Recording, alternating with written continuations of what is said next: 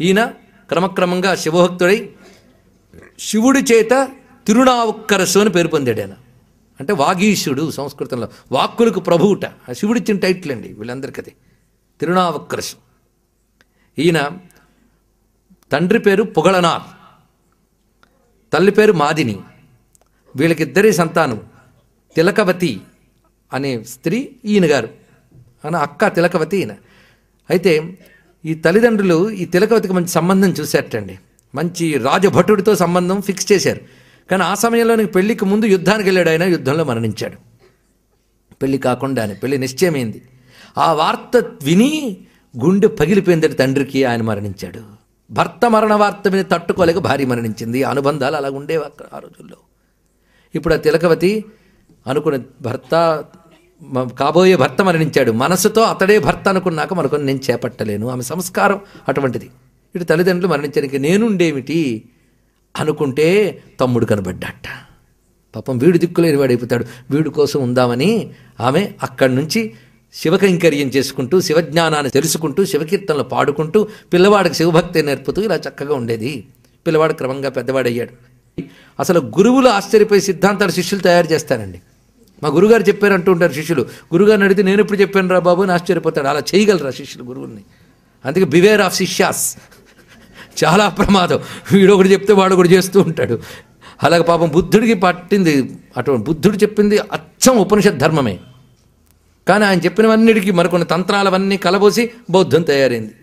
అలాగే జైనం తయారైంది. చిన్నప్పటి నుంచి విన్న శివధర్మం. ఇదంతా దెబ్బతింటోంది. దీన్ని దెబ్బతీయాలి అంటే ఇంటలెక్చువల్ వార్ వాళ్ళు చెప్పినది తప్పు ఇది సత్యం అని రుజువు చేయాలి. కాబట్టి ఏం చేయాలి? అనుకుని క్రమంగా ఆయన ఏం చేశారంటే పైగా మరొక వైపు ఏదైతే వ్యాప్తి చెందిపోతూ ఉంటుంది దాని మీద మమకారం కలగడం కూడా సహజం. అంతే కదండి? మనకే అనిపిస్తుంటుంది. వాడు వచ్చి అంటాడు మీకు ఎంతమంది దేవుళ్ళు? మాకైతే ఒక్కడే. మీరు రోజు పూజలు చేయాలి మీ వారానికి ఒకసారి చేయాలని. ఇది ఏదో బాగుంది అనిపిస్తుంది మనకి. అదే ఎందుకంటే బద్ధకం ఎవడు నేర్పుతాడో అది గొప్ప బోధ. కష్టపడమంటే ఒప్పుకో. అంతే కదా. నువ్వేం పరీక్షలు లేకని మార్కులు వేస్తానని టీచర్ చాలా నచ్చుతాడు మనకి. వాడు నచ్చుతాడు కానీ రోజు కష్టపడి చదువురా బాబు చదువుకుంటేనే పైకి వస్తావు అనే టీచర్ అంటే యావగింపు. మనకున్న టీచర్లలో అదే మన హైందవ ధర్మం అయ్యే. సరే మొత్తానికి. ఎందుకంటే దేవతా దేవుడు ఉంటే కష్టపడాలి. కానీ దేవుడు లాంటివాడు. దేవత అంటివాడు ఉన్న మతంలో కష్టం ఎందుకు నిష్ట ఎందుకు?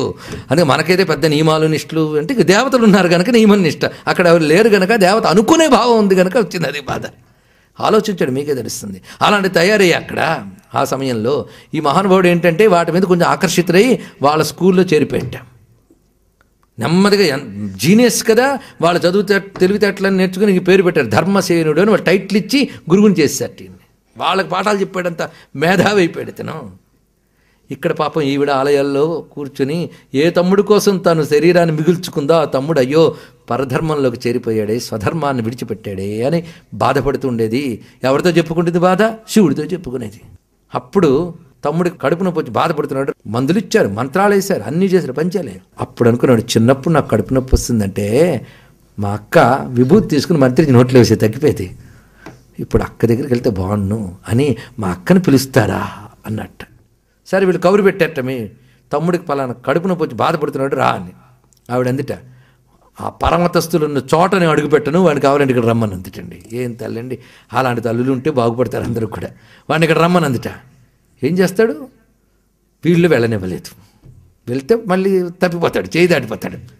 వీడు ఒక రాత్రిపూట అక్కడ వేసుకున్న వేషపు దుస్తులు మార్చేసి మామూలు వస్త్రాలు కట్టుకుని ఎలాగాలో తప్పించుకుని వచ్చేటండి ఇక్కడికి. రాగానే అక్క ఆ కడుపు నొప్పి పెడుతుంది అక్క. అవునా? అయితే స్నానం చేసిరా ముందు. ఇన్నాళ్ళు అక్కడ చెడ్డ తిరుగులు తిరిగో మాలిన్యం పోవడానికి స్నానం చేసిరా అన్నది. స్నానం చేసి వచ్చి బొట్టు పెట్టి వీళ్ళు ఏడు అక్కడ అన్నది. ఎవరి దగ్గర?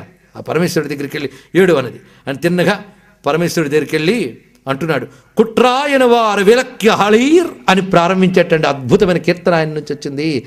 ఏమనంటే స్వామి తట్టుకోలేని కడుపు నొప్పి తగ్గించవయ్యా. దాని పల్లవి ఇదండి తీవ్రమైన ఈ వ్యాధిని తగ్గించవయ్యా. ఇది ఉంది ఇప్పటికీ కీర్తన అంటే ఇది జరిగిన కథ. ఇంక ఇంకేం కావాలి? తగ్గించవయ్యా అని ఏడ్చి ఆ పరమాత్మే కీర్తించబడి పైగా శివధర్మం గొప్పది. ఎలాగో రుజువు చేయడం కోసం నేను అక్కడికి వెళ్ళాను. దౌర్భాగ్యం కొద్ది అతుక్కుపోయాను. కానీ నువ్వే పంపేవు కదా.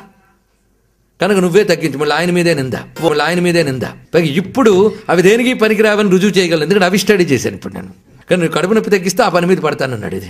కడుపు నొప్పి తగ్గిందండి. కేవలం భస్మధారణ చేసి శివుడిని కీర్తించగానే జరిగినది. ఇక ఆ తర్వాత ఆ మహానుభావుడు ఇలా తప్పించుకొచ్చి మళ్ళీ శివభక్తుడు అయిపోయాడని తెలిసిందెప్పుడు వాళ్ళు ఎన్ని కుట్రలు పన్నారంటే ముందు రాజు కౌరు పని పెట్ట రాజు వాళ్ళవాడు. ఇతడు ఇటువంటి దుర్మార్గం పని చేశాడు కనుక శిక్షించాలి మమ్మల్ని మోసం చేశాడు చేరి వంచన చేశాడు. అనగానే ఏం శిక్ష వేయించాలో మీరే చెప్పండి అని వాళ్ళు గురువులుగా నమ్మాడు రాజు. వెంటనే వాళ్ళు ఏం చేశారంటే సున్నబట్టిలో పెట్టండి ఈయన అన్నట్టు. సున్నబట్టి తెలుసు కదా? అందులో పెట్టి బంధించేసట్టు ఇన్ని ఏడు రోజులు. తర్వాత ఇతను పూర్తిగా ముద్దైపోయి ఉంటాడని తీసేట చక్కగా చందనంలో కూర్చున్నట్టున్నట్టు ఈయన ఎందుకంటే పంచాక్షరి మంత్ర జపపరాయణుడే పంచాక్షరిని కీర్తిస్తూ ఉన్నట్ట. ఆడ తర్వాత ఈయన చేసిన హింసలన్నీ ఇన్ని కాదండి. ఈయనకి ఆఖరికి ఒక బండరాయి కట్టి సముద్రంలో పడేసేట. అప్పుడు అన్నాడు ఏ పంచాక్షరిని పట్టుకుని సంసార సముద్రం నుంచి దాటిపోతారో అదే పంచాక్షరి మామూలు సముద్రం నుంచి దాటించదా అన్నట్టండి. ఆ రాయి అతనికి తెప్పయి కడలూరు అనే ఊరిని చర్చించారు అక్కడ శివుడిని చూసి ఇంకా కీర్తనలు పలికాడు. ఈ మహానుభావుడు ఎన్నెన్నో కీర్తనలు రచించి తిరిగాడు. ఇది జ్ఞాన సంబంధుడు. ఇంకా ఆయన చరిత్ర పట్టుకుంటే చాలా అవుతుంది.